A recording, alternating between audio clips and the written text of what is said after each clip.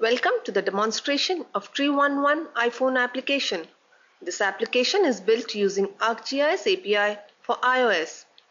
It allows users to exploit some of the core features of ArcGIS 10 platform through iPhone. The purpose of Tree11 is to allow citizens to get information about a particular tree or provide feedback about a tree. Using this application, citizens can report on status or condition of tree, add new trees to the database with its photograph, view and report facts about trees.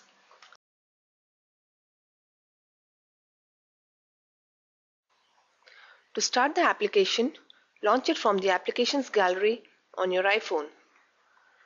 Once the application is loaded, the street map is displayed at default extent as defined in the configuration file. To start searching for trees around a given address, touch the search button on the top right in the main screen and enter the address in the search box that is displayed. The search term should be in the format street, city, state, zip.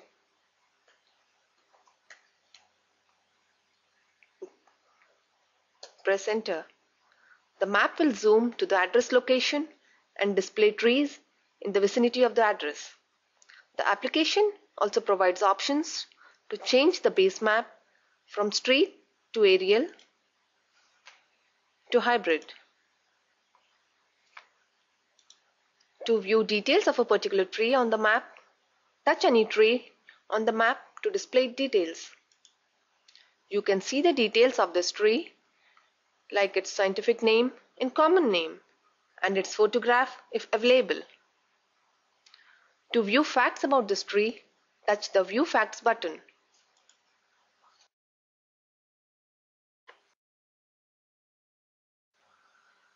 If you are interested in receiving updates about this tree, then you can subscribe to this tree by submitting your email address.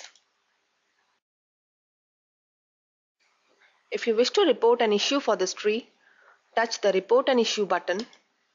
Select the issue you want to report from the list that is displayed. For example, let's select needs water. Optionally, enter a brief description in the description box. Your name, an email address. Touch Done to dismiss the keyboard. Touch Submit to submit the issue. If you wish to report a fact about this tree, then touch the Submit Fact button to display the Add Tree Fact screen. Enter the description or fact in the description box.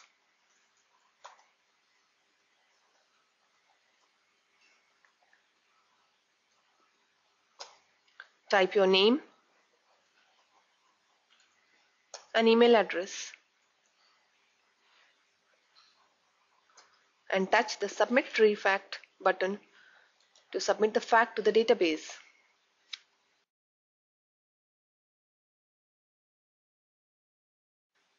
To add a new tree to the database, touch the map at the location you want to add a new tree. Touch Next on the map tip to display the Add New Tree screen. Fill up the details of the new tree you wish to add like genus, species, common name, whether newly planted, and continue to the next screen to add the date of planting.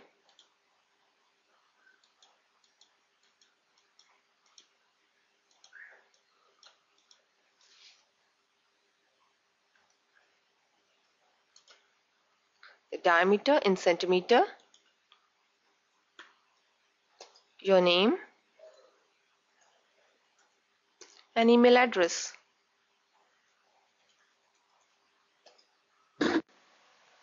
You can also attach a photograph of the new tree you wish to add. You may take a new picture or pick one from the camera roll.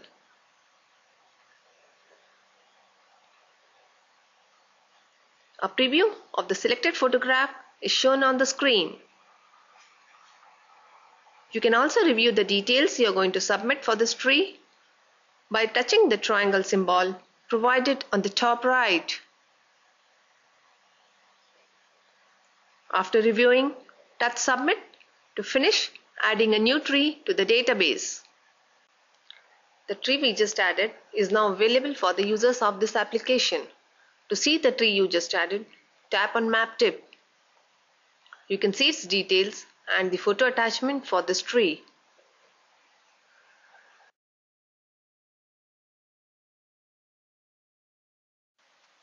Let's take a look at the application settings on iPhone main screen. Tap on Settings. Tap on Tree11. Here we see an entry for URL which points to an XML file available on a public server. The application picks up configuration settings from this XML file and can be easily modified to suit your needs. For example, you may change the default extents, URLs for street map, aerial map, trees, feature layer, locator service and locator fields and others. This application is designed as a configurable template so you can easily plug in your own feature service and use it to create your own VGI application. Thank you for viewing this demonstration.